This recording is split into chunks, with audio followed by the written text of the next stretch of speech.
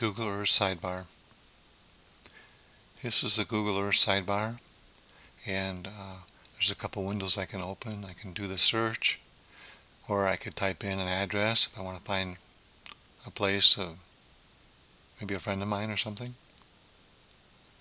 Click on the triangle to close that and also we have layers here and I'm going to close places just to make more room.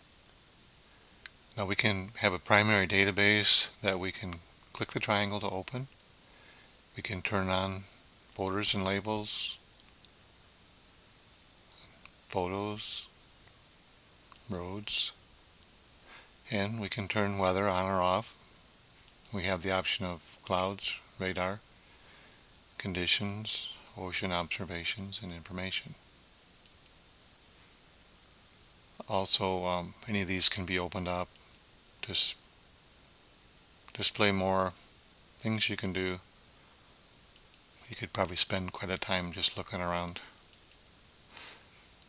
So we'll go back to places, closed layers, I like a lot of room here.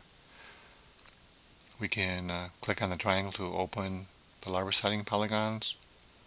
Click on the triangle to open Robert Hetrick and uh, if I click on the box where the check mark is I can turn all the polygons on or off. So I can turn the green ones on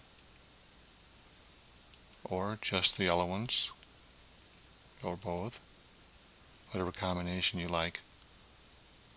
So um, can turn uh, Robert Hetrick off and back on. Close folder close the folder also I can hide this sidebar by clicking on the little icon here. So we'll hide it, or if I click on it, it'll bring it back.